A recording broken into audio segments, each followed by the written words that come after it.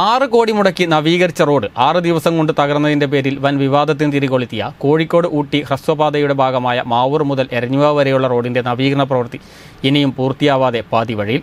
പേരിന് ടാറിംഗ് മാത്രമാണ് ഇപ്പോൾ പൂർത്തിയായിട്ടുള്ളത്. ഡി പി ആറിൽ ഉൾപ്പെടുത്തിയ പല പ്രവൃത്തിക്കും ഇനിയും തുടക്കമായിട്ടില്ല. കോഴിക്കോട് മെഡിക്കൽ കോളേജിലേക്ക് ഉൾപ്പെടെ നിരവധി വാഹനങ്ങൾ പോകുന്ന പ്രധാന റോഡാണിത്. ബി എം ബി സി ടാറിങ്ങിന് പുറമെ ആവശ്യമായ സ്ഥലങ്ങളിൽ ഡ്രൈനേജ് ഇന്റർലോക്ക് പതിക്കൽ റോഡ് മാർക്കിംഗ് കൈവരി സൂചനാ ബോർഡുകൾ എന്നിവ സ്ഥാപിക്കൽ തുടങ്ങിയ ജോലികൾ ഇനിയും പൂർത്തിയാവാതെ ബാക്കി നിൽക്കുകയാണ്. ഡി പി ആറിൽ നിർദ്ദേശിക്കപ്പെട്ട പല കാര്യങ്ങളും ഇതുവരെ ചെയ്തിട്ടില്ലെന്ന് നാട്ടുകാർ പറയുന്നു. ഒരിടത്തും ഡ്രൈനേജ് നിർമ്മിച്ചിട്ടില്ല. മഴ പെയ്താൽ പരപ്പിൽ തെനേങ്ങപ്പറമ്പ് ചുള്ളിക്കാപ്പറമ്പ് കൂളിമാട് താത്തൂർപ്പയിൽ ഭാഗങ്ങളിൽ റോഡിലൂടെ വെള്ളം പരന്നൊഴുകുന്ന അവസ്ഥയുണ്ടാവും. ടാറിങ് കഴിഞ്ഞപ്പോൾ ഇവിടെയെല്ലാം വലിയ കട്ടിങ്ങുകളും രൂപപ്പെട്ടിരുന്നു. അവിടങ്ങളിൽ ഇന്റർലോക്ക് പതിക്കുകയോ കോൺക്രീറ്റ് ചെയ്ത് സ്ലോപ്പാക്കുകയോ ചെയ്യേണ്ടതുണ്ട്.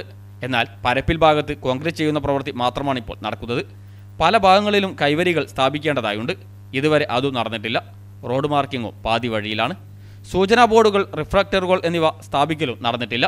B M B C tarring കഴിഞ്ഞ് ആറ് ദിവസം പൂർത്തിയാവുന്നതിന് മുമ്പ് ഒൻപത് സ്ഥലങ്ങളിൽ ഇരുന്നൂറ് മീറ്ററോളം ഭാഗത്ത് റോഡ് വിണ്ടുകേറി തകർന്നതാണ് വലിയ വിവാദത്തിന് കാരണമായിരുന്നത്. തുടർന്ന് വിജിലൻസ് അന്വേഷണം നടത്തി വകുപ്പ് തല നടപടികൾ സ്വീകരിച്ച് പൊതുമരാമത്ത് വകുപ്പ് മുഖം രക്ഷിക്കുകയായിരുന്നു. ഈ പ്രവൃത്തിയുടെ മറവിൽ വൻ അഴിമതിയും ക്രമക്കേടും നടന്നതായും ആക്ഷേപമുണ്ട്. തകർന്ന ഭാഗങ്ങൾ കരാറുകാരൻ തന്നെ അറ്റകുറ്റപ്പണി നടത്തുകയായിരുന്നു.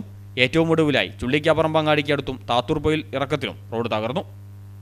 ഫെബ്രുവരി ഇരുപത്തിനാലിന് ചെറുവാടി കവലട റോഡിന്റെ നിർമ്മാണോദ്ഘാടനത്തിന് പൊതുമരാമത്ത് വകുപ്പ് മന്ത്രി വരുന്നതിന് മുമ്പേ അധികൃതർ അറ്റകുറ്റപ്പണി നടത്തി തടി തപ്പുകയായിരുന്നു. ഇനി ഏതെല്ലാം സ്ഥലങ്ങൾ തകരുമെന്ന് കണ്ടറിയണം.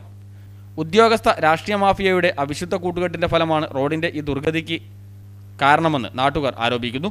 അനുബന്ധ പ്രവർത്തികൾ എന്ന് പൂർത്തിയാകും എന്നതാണ് നാട്ടുകാരുടെ ചോദ്യം. Fasal Babu news bureau Mukkam.